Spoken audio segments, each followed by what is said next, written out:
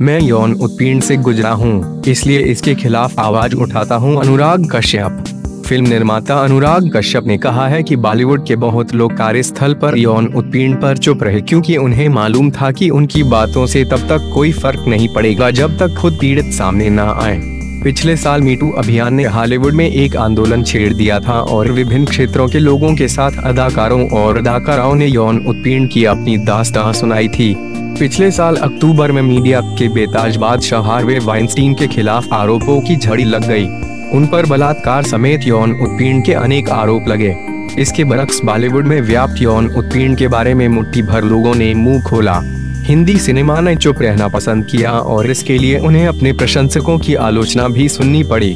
Film उद्योग का बचाव करते हुए कश्यप ने पीटीआई भाषा के साथ एक साक्षात्कार में कहा कि व्याप्त यौन उत्पीड़न की घटनाओं पर कलाकारों की बातों का तब तक कोई मतलब नहीं है जब तक इसे झेलने वाले अपना मुँह बंद रखते हैं।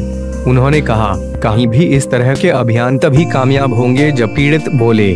तब लोग पीड़ित के पक्ष में खड़े हो सकते हैं। अगर पीड़ित नहीं बोलता है तो कोई अन्य नहीं बोल सकता, क्योंकि उन्हें अफवाह फैलाने की कोशिश करने वाले असंतुष्ट लोगों के रूप में ब्रांड किया जाएगा। उन्होंने कहा, जब मैं 19 साल का था, मैं यौन उत्पीड़न के बारे में बोला था, क्योंकि मैं इससे गुजरा था।